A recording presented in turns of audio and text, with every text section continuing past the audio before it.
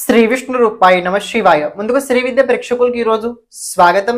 ఈ రోజు మనము సెప్టెంబర్ నెల లోపల ప్రతి ఒక్క రాశి వారికి ఫైనాన్షియల్ కండిషన్ ఎలా ఉండబోతుంది? ఈ కార్యక్రమం ఈ వీడియో లోపల మనం చూడబోతున్నాము. అంటే కనుక చూసుకున్నట్లయితే నేను రాశి ఫలాలు ఏవైతే చెప్పానో మేష రాశి నుంచి మీన రాశి వరకు సెప్టెంబర్ నెల రాశి ఫలాలు అందులో ఆర్ ఫైనాన్షియల్ గురించి ఎక్కడ నేను చెప్పలేదు.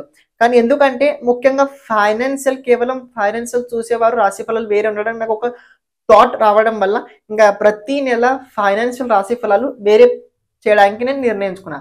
కాబట్టి ఈ సెప్టెంబర్ నెల నుంచి మనం మొదలు పెట్టబోతున్నాము ఏ రాశి వారికి ఈ మంత్ లోపల ఫైనాన్షియల్ కండిషన్ ఎలా ఉండబోతుంది చూసుకోబోతున్నాం. ఎందుకంటే ఇది నేను ఏవైతే చెప్తున్నాను ఈ ఫైనాన్షియల్ కండిషన్ విషయము ఇది గోచర గ్రహరీత్య ఆధారంగానే ఉండబోతుంది. ఇప్పుడు గ్రహరీత్య ఆధారాలు ఎలా ఉన్నాయో మీకు తెలుసు. లాస్ట్లో మీరు కనుక చూసినట్టయితే ఆ గ్రహ స్థితి ఆధారంగా మీకైతే నేను చెప్పబోతున్నాను.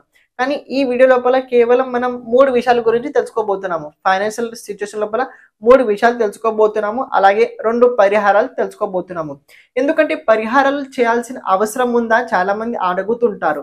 ఎందుకంటే ఈ భౌతిక జీవితం లోపల మనకి ఏదైనా కావాలని అనుకున్నట్లయితే మనం కష్టపడినా మనకు అది వచ్చుద్ది.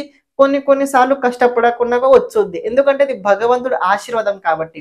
ఒకవేళ మన దగ్గర అవసరం ఉంది కానీ దగ్గర ఒక డబ్బు రావట్లేదు అనుకున్నట్లయితే భగవంతుని శరణంలో తప్పకుండా మనం ఉండి తీరాలి. కానీ ఏ విధానంగా ఉండాలి ఎలా ఉండాలి అదే మనం చెప్పబోయే పరిహారం అయితే ఉండబోతుంది.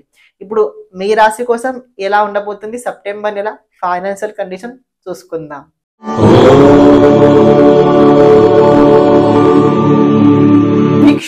ప్రేక్షకులకు అందరికీ ఒక చిన్న విన్నపం. ఎవరైతే మన ఈ ఛానల్ని సబ్స్క్రైబ్ చేసుకోలేదో వాళ్ళందరూ తప్పకుండా ఈ ఛానల్ని సబ్స్క్రైబ్ చేసుకోండి. అదే రకంగా ఆల్ నోటిఫికేషన్ బెల్ పైన క్లిక్ చేయండి. ఎందుకలా అంటే రాబోయే రోజుల్లో మేము ఏవైతే కొత్త కొత్త వీడియోలు చూస్తామో అవన్నీ వీడియోలు మీరు తప్పకుండా చూడగలుగుతారు. కన్యారాశి కన్యారాశి కన్యా రాశి వారు కనుక ఈ నెల ఫైనాన్షియల్ కండిషన్ ఎలా ఉంది కనుక చూసుకున్నట్లయితే కాస్త కొన్ని విషయాల లోపల ఇబ్బందికరంగా అయితే కన్యారాశి వారికి కనబడుతుంది. ఆకస్మికంగా ధన ప్రాప్తి వచ్చి తీరుద్ది డబ్బు రావాల్సిన డబ్బు వచ్చుద్ది. కానీ ఎంత రావాలో అంత రాదు. మీకు రావాల్సిన డబ్బు వంద రూపాయలు ఉన్నట్లయితే అందులో మీకు కేవలం నలభై ఐదు రూపాయలు వచ్చుతాయి. అంటే మిగతా అరవై ఐదు రూపాయలు రావు.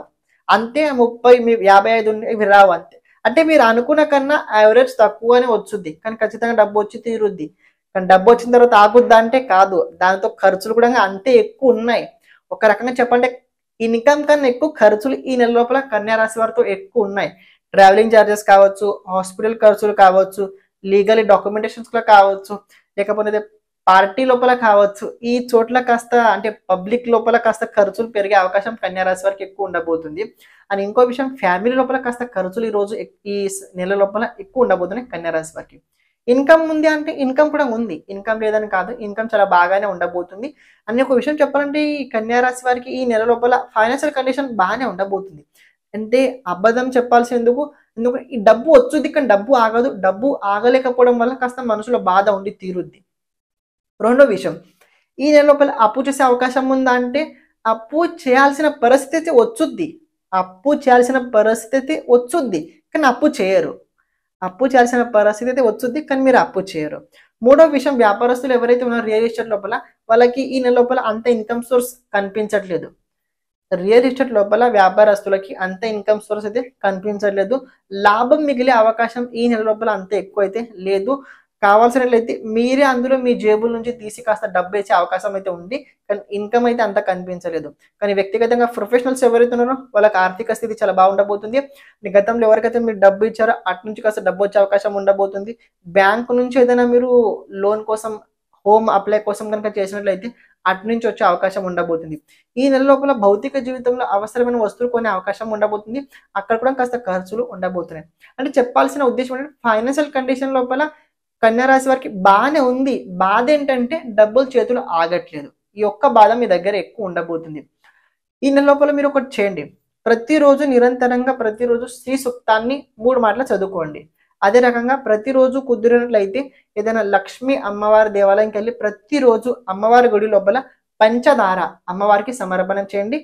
ఫైనాన్షియల్ కండిషన్ లోపల కాస్త అనుకూల పరిస్థితి మీరు చూస్తీరుతారు శ్రీమాత్రేమ